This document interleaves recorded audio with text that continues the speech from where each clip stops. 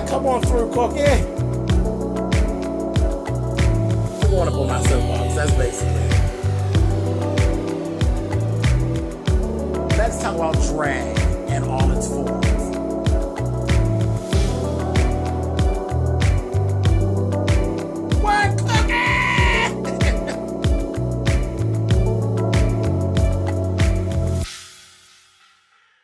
Hey guys, thanks so much for clicking on the video. This is actually going to be, uh, it's going to be a dual review actually. Um, of, of course, you all know I was laid up in the damn hospital last week, so we're just going to do see, uh, episode 7 and episode 8 all in this review.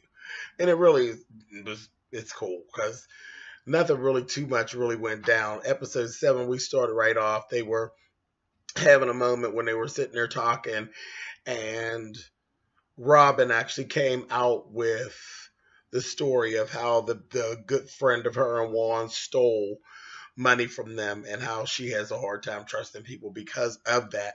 She just doesn't know who to trust. And really, when it comes to your money and your children, bitch, nobody. Period. Even if that had never happened to you, nobody with your money and your kids. Trust nobody. Question everybody. That's just the way it is. Um, so they kind of went through that, and I thought it was kind of wild. You know, Ashley actually had said, you know, that she literally felt bad about even mentioning the bankruptcy because um, she didn't, you know, realize that it was really all that deep like that. So that was cool. But then she didn't say anything. I mean, she should have just like said something to Robyn. She never said anything to Robyn about it. But um, and she could have actually did another apology if you really felt bad, you know, because that was kind of fucked up. It was it was fucked up that somebody steals your money. But now you know, you know better, you do better. This whole trip, Katie was just being a bitch, and I can see Katie's going to make me get her. I'm going to end up dragging Katie. She's starting to get on my nerves on a weekly basis. Um, she's just ridiculous. She's running around with her ass on her shoulders, and bitch, it's not that smooth for you, honey. Not at all. She's ridiculous. She's on my nerves. Um, Gizelle actually needs to stop asking Katie if she's a, a good get high bitch. She'd have told you several times that she's she's not a junkie, though we don't believe her. We don't believe you. We believe you're a slut and a junkie, but that's fine until she decides to come out as a slut and a junkie. Then you need to motherfucking leave it alone, Gizelle. Bitch, leave it alone. Anyway, um, there was a whole little scene where she literally excused herself from the group and went to bed, you know, because they had got on her nerves, insinuating that she was old get high bitch. But whatever. Anyway. Um, one, I do, like I said, I've said at the beginning, I thought Robyn and Gizelle are actually friends, and I kind of like them two together. Uh, they're they're my, actually my two favorite characters in this whole thing, but yeah, I like their relationship. It's cool. Now that Brene, I don't know why Brene actually doesn't actually have a regular role or you know an intro, because she's there just as much as these whores. But whatever she did, she just is messy, child. She's just as messy as she could be. But Brene, uh, Karen, and Katie actually got together at one point and were pretty much sicking Katie on Gizelle, telling her, You got to stand up for yourself, this, that, the other. I said, Why is they setting her up? Because you know that goddamn Gizelle is going to drag Katie if she go fucking with Gizelle. But they went, they had this little vintage, that was cute, little vintage uh, photo shoot they did some surfing, and, you know, just girl stuff. It was it was kind of cute. Um, Katie went and apologized and confronted Gizelle, and um, it was so funny because she didn't even get any play. She didn't get a chance to try to get at Gizelle because Gizelle was like, "You know what? You're right. I'm so sorry, and I apologize." It was so funny because that's like the worst thing ever when a bitch gets her balls up to, to go tell a bitch off and can't get no play because they beat you to it. Be like, girl, you know what? I was wrong. I am so sorry. Then you end up looking like a fool. And that's exactly what happened.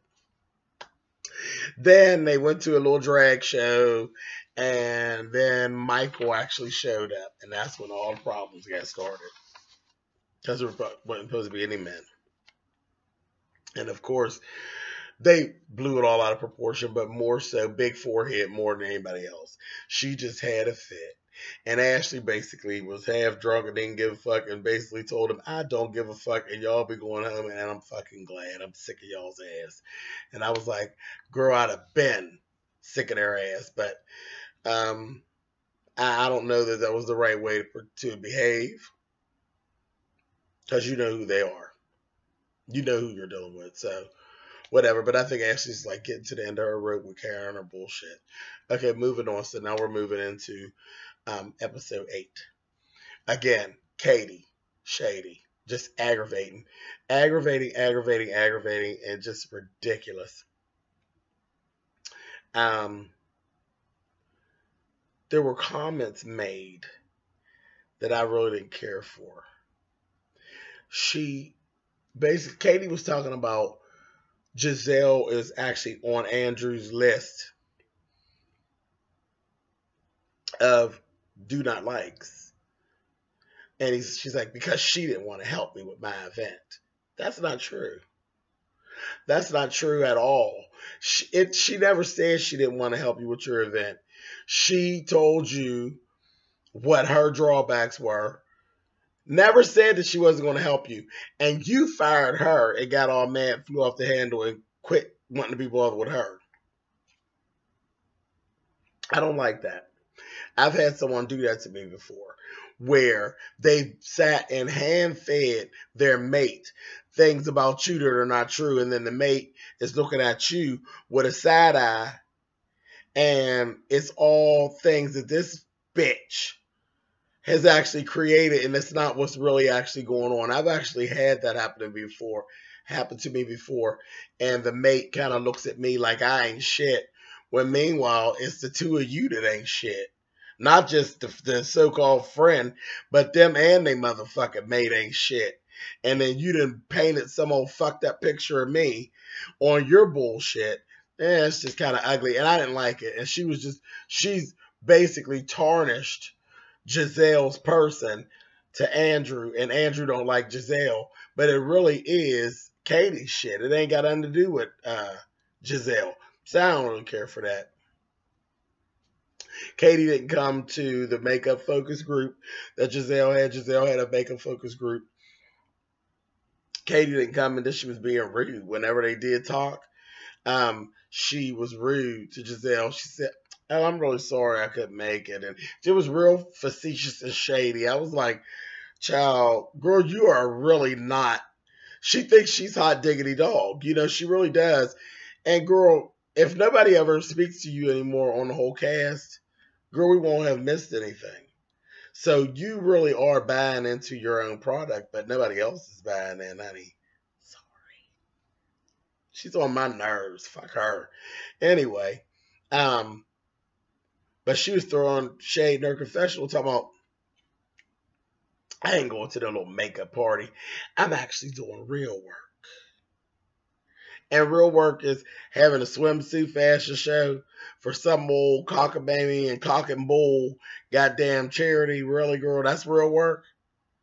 No, what Gizelle's doing is real work, bitch. She's trying to build a brand and make some motherfucking money, bitch. Which is what you need to be doing because you don't have no husband, you're not getting no husband, and you run around sucking dick that ain't sucking you back. So, really, you're the one that needs to get down to work. You need to be trying to pay attention to what she's doing instead of sitting around here clowning. Anyway, just stupid. But um, during the makeup uh, focus group, there were a lot of apologies. Katie apologized to, um, not Katie, I'm sorry, Ashley apologized to Lady Big Forehead, which she really just went too far because she's actually planning a function, a party for um, a charity event, basically, she, a bag session um, for a little little charity that she has going on, and she uninvited. She literally she's talking about it, but I didn't realize she had actually uninvited Ashley and Michael. She literally had uninvited them and they went on this golfing trip, and I didn't understand that. They have this golfing trip, and she's like, "We're just gonna let the men get it together because at the makeup party, Katie and Karen could not come to a consensus on the shit. Katie got to the point where she was like, man, fuck you, Karen. And Karen's like, fuck you, you know, basically. So they're saying they're to let the men do it. Now, I don't understand why that was even necessary. Michael wasn't really giving a fuck. And, but for whatever reason, Grady wanted some camera time. So I was like, really, Ray? So next you know, they go golfing. And then Ray basically is kind of trying to talk shit to Michael, but Michael's not buying in and accepting the shit that he's talking. So it was really stupid. And I did, I just looked at Ray and I was like, Grady, are you serious? And he's like, you know, it was supposed to be a girls' trip, and I really don't appreciate no man being there. I don't want no man looking at my wife in skimpy clothes. Now, come on, Grady, stop your plan. You know good and goddamn well Michael was not looking at Weezy Jefferson when Jenny Willis is there. You know good and motherfucking well that that man who is dating a girl fresh out of her goddamn 20s was not looking at that old motherfucking man that you married to. So I want you to just stop that. You stop that bullshit. Go somewhere and eat some pig feet, bitch. That was just a damn mess. And they just and he was acting real stupid. I was liking Ray up until then. Ray got on my nerves. I said, Well, you trying to get some camera balls and trying to get some camera time. If you don't take your motherfucking ass somewhere and sit down, that was just ridiculous. Then there was a whole scene I thought was funny when they went to the the flower shop. Honey and a little sissy that worked in the flower shop was so not here for Karen's bullshit. Karen was in there with the little assistant girl who I don't know where the fuck she got her wig from, and that bitch looked like a goddamn extra from the Wiz. Child with this orange, cowardly lion hair. She looked ridiculous. But he was not bad. You know, they were in there with all their flightiness and all their putting on all their ears. That sissy was given very much of whatever. Like, we don't have what you want, bitch. No, they can't be imported because they don't grow. Now get the fuck out of here. I was like so here for him, honey. I said, yes, bitch. He gave them the good old get on, honey. I cracked that. But then once they went to, they had the little event, Karen still acted shady. After they re-invited Michael and um, Ashley, they were late. It's true. They didn't answer the door. They had them outside waiting, ringing the bell and ringing the bell and ringing the bell. I said, that's so shady so shady. And then somebody else actually let them in. They weren't going to let them in. They knew who the fuck it was ringing a bell. They were literally not going to let them in. I said, what kind of horrible. So I believe Ashley really has gotten tired of kissing Karen's ass. She just doesn't find it necessary anymore. So she literally had gone to the girls and said whatever she felt like saying because um, it just was what it was. It just was what it was. It was digs and shots fired, honey. That's all it was. She said she made some comment about Karen's wig slipping. I said, oh, child. She's in there talking shit on her in her own party, child. Then she made reference to the fact that Karen had said she don't want her hanging with her daughter, but she said she don't want her daughter hanging with us. And that motherfucking Karen, I thought Karen was going just like, you know, like, girl, no, we're not going to do all this here. And all. Karen went over there and said, I don't know what the fuck you trying to do, bitch. But don't try to start no shit with me and my girl. I'm paraphrasing y'all. Don't start no shit with me and my friends, bitch. I told you specifically that I didn't want your stinking ass around my daughter. Not everybody else. Just you, bitch. I said, oh, Karen, okay. Now, I got life off of that. I said, now that was just good rude and good, honey, and I liked it. It made my stomach jump, honey. I said, Oh, no, bitch, I told you that I didn't want my daughter around. You specifically, cocksucker. It was you, bitch. No one else. I said, Oh, she got her ass, honey. And then Ashley was like, you know, she kept going around and the girls was giving her this, honey. You know, but it was funny though, before they got there, I thought it was petty that they're supposed to be so above everything Karen and Ray were actually walking around the party talking about how Ray had let Michael have it. I'm like, to my recollection, Michael did not get let have it by Grady. Grady said whatever he wanted to say, but Michael had paid his ass dust. Really. Never did apologize to Karen. So I just didn't get that.